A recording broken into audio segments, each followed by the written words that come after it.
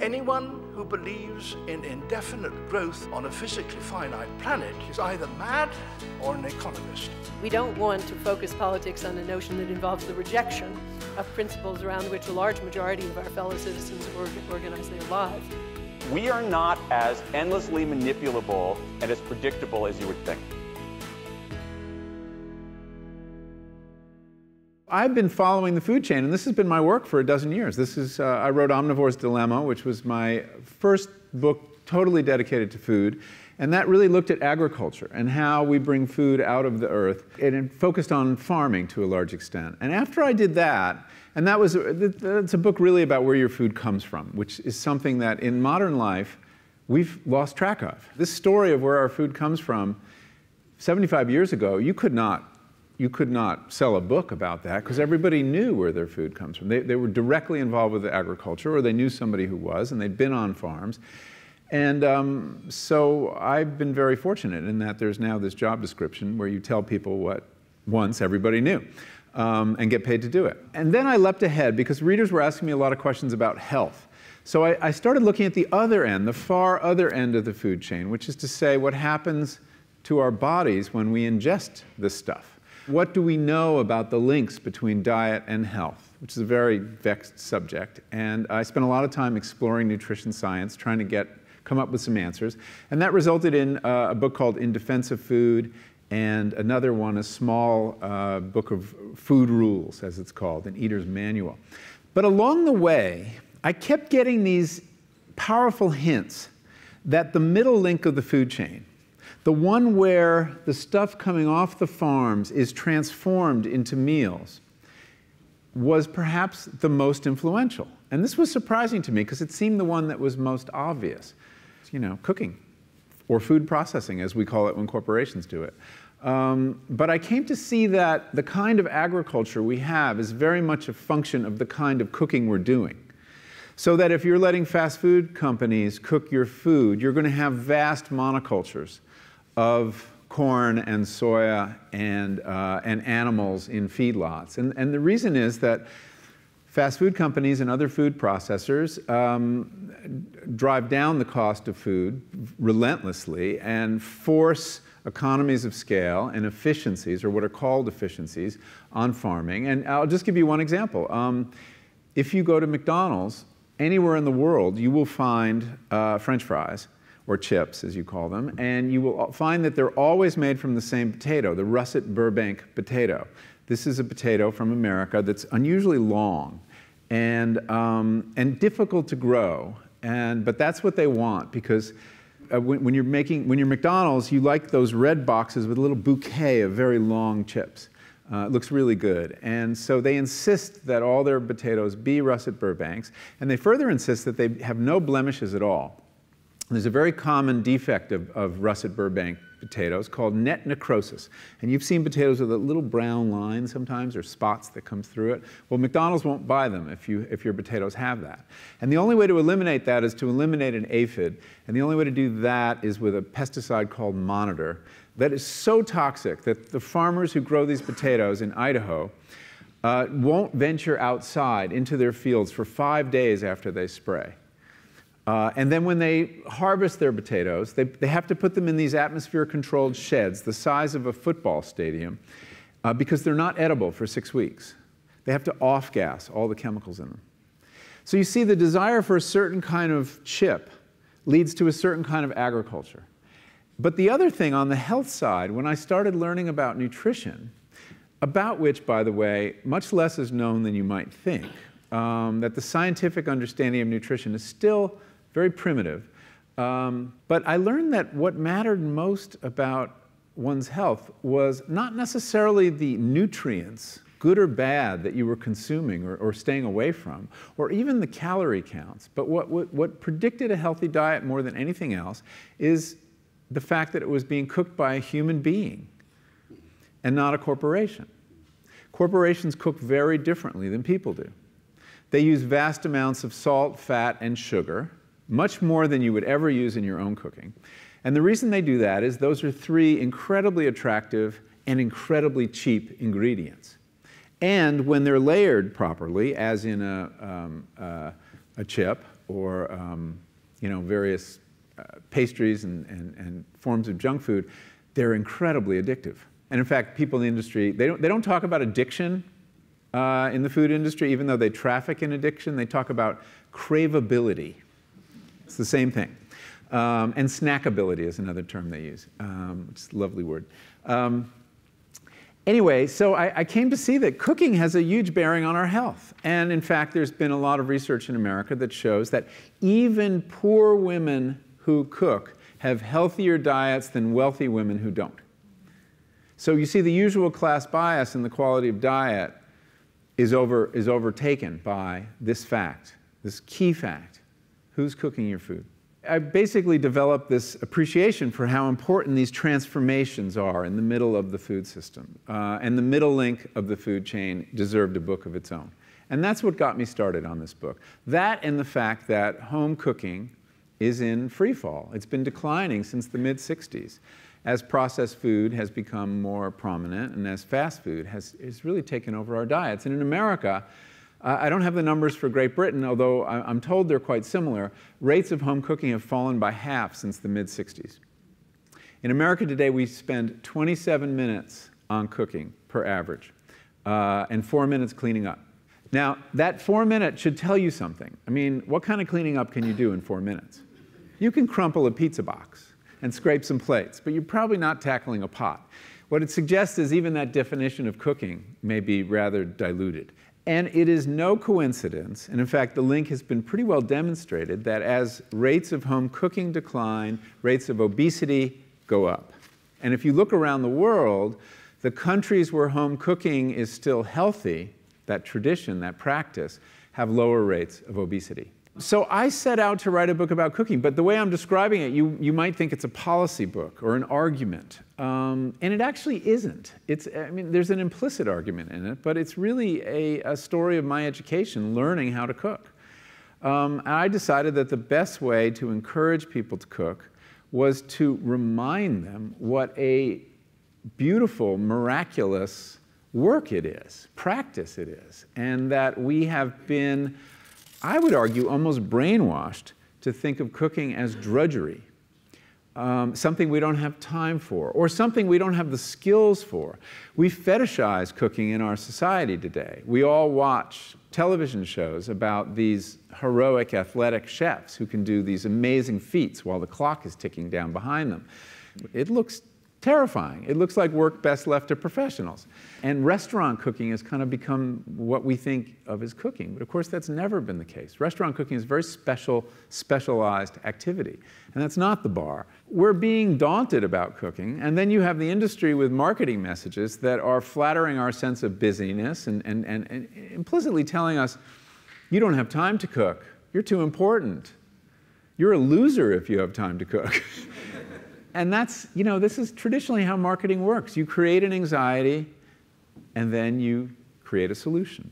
So I do tell the story of how we came to this uh, in the United States and how a culture of home cooking was dismantled, deliberately dismantled by the food industry. They wanted very much to insinuate themselves into our homes, into our families. And they have been doing this or trying to do it for more than 100 years. And then something interesting happens post World War II. During World War II, the food industry worked with the government to come up with some amazing innovations to feed the troops, basically. Uh, they learned how to freeze dry food and make instant coffee and make powdered orange juice and to, uh, to simulate all kinds of foods and make them shelf stable. And after the war, they had all this wonderful technology that they wanted to sell to us. And they worked very hard. They redoubled their efforts to sell us processed food. Um, and uh, they were resisted for a long time. Uh, a lot of, uh, when they marketed to women, who were doing most of the cooking, of course, uh, women would say, well, of all the housework, you know, cooking is actually the part I like best. It's my creative outlet. Um, if, you, if someone can help with the ironing, great. Um, but they kept at it. And their opening really came in the 60s and 70s when women went to work in large numbers and uh, the feminist uh, revolution took place. And what happened was very interesting there. Um, and, this, and this could be easily misinterpreted, and it has been by some people, as blaming feminism for the collapse of home cooking. That's actually not what happened at all. What happened is that when feminism uh, arrived on the scene there, and women were working, there was a very awkward conversation that unfolded on kitchen tables all over the West, which was we need to renegotiate the division of labor in the home. And the food industry saw this wonderful opportunity. And they said, in effect, through their advertising, stop arguing. We've got you covered. We'll do it for you. We'll do the cooking. And the, the metaphor of this campaign, which took place in many, many companies over many years, was a, a Kentucky Fried Chicken, um, which took out billboards in the early 70s across America with a giant bucket of fried chicken, you know, the red thing with the 14 pieces of chicken popping out of the top, and just a two word slogan women's liberation. It's very, very clever because they redefined not cooking which was kind of in disrepute before this, as the progressive thing to do. And, uh, and, and forward looking, and that we, would, we should industrialize our cooking, take it, off the, take it off the table at home. And men grabbed at this and women grabbed at this because it essentially solved a problem. Once again, create an anxiety, solve a problem. Um, and that is, uh, in large part, what happened. And women who didn't uh, who weren't working, also their rates of home cooking fell as well. So that's kind of how we got where we still are. They've gotten more and more clever. Processing, when we talk about processed food, there really are you know, two orders of processed food. I think it's important to distinguish. There is what uh, is sometimes called hyper processed or, or um, ultra processed food. And then there's first order processed food, which is, you know, unobjectionable. I mean, freezing vegetables, um, you know, it was a terrific product. Canning tomatoes, uh, milling flour. All these things, although we can talk about white flour, um, all these things, uh, that's what processed food was until the last couple decades when processing reached new heights of, uh, of complexity and the ability to make whole ready meals uh, in, in great amounts. And I have to stress the problem again with this kind of cooking is that um, the kinds of ingredients, the salt, fat, and sugar, key. Also, lots of food additives. Um, as soon as you're cooking food en masse to have such a long shelf life, you need a lot of chemicals to keep it looking as though it were cooked more recently and closer by than it really was. So you have this whole range of chemicals, which actually, even though we've been lulled into thinking they're all right, there are serious questions about these dyes and these uh, flavorings.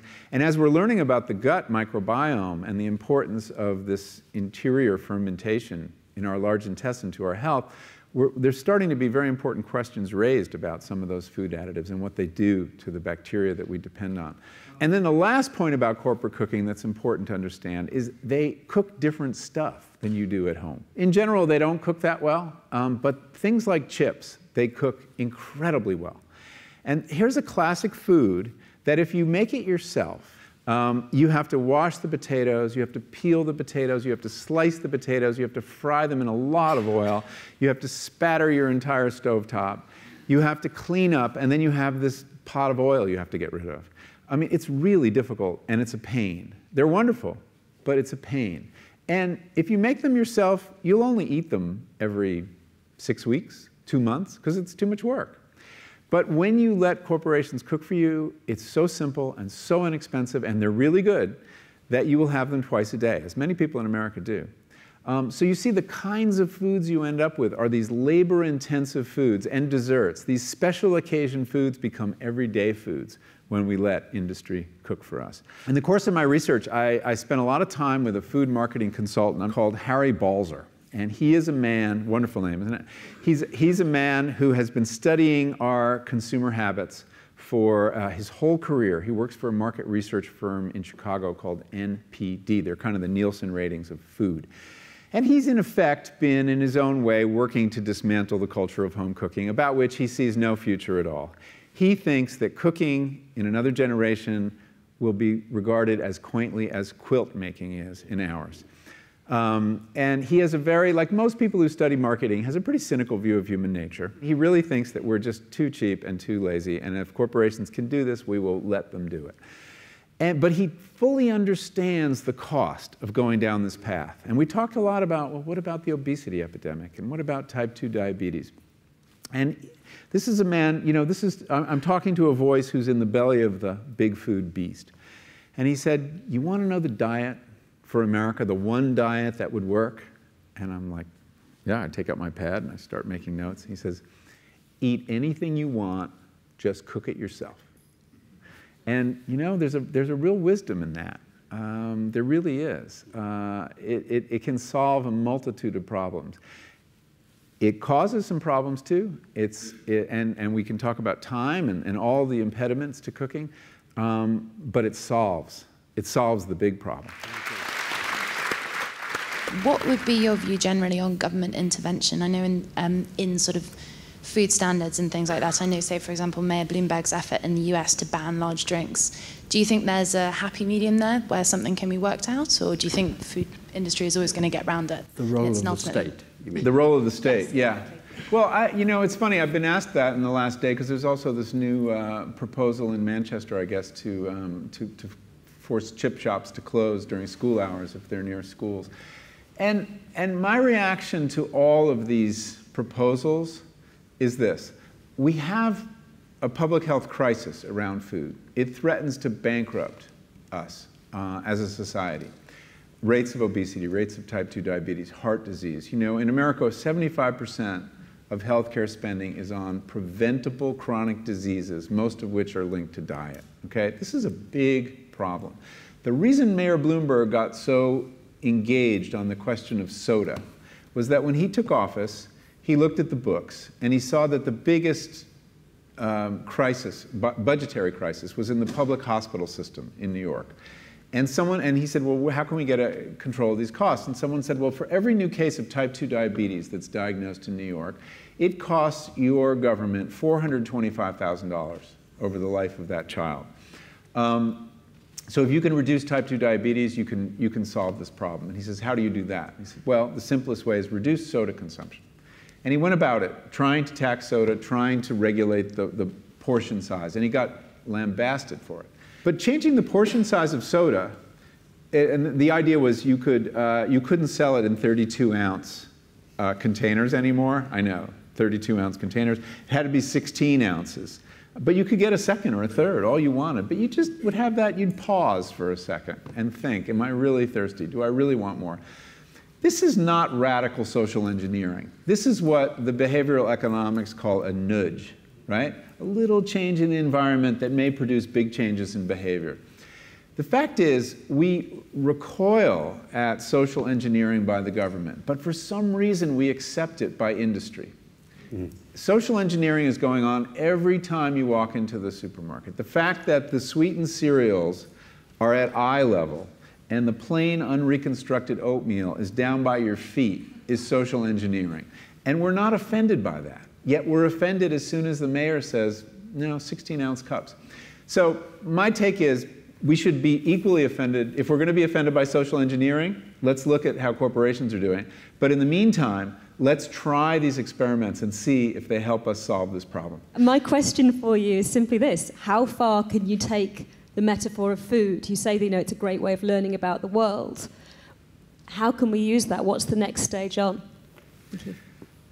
In well, one minute. Yeah, that's a you know that's a book. Um, one of the things that I got interested in when I was doing this was, as I alluded to, is uh, fermentation and bacteria. Hmm. And, and as I delved into our relationship to bacteria, which food brings you into, fermentation especially, it completely revolutionized my understanding of, of human identity. Um, you know, you're only 10% human, you're 90% microbes.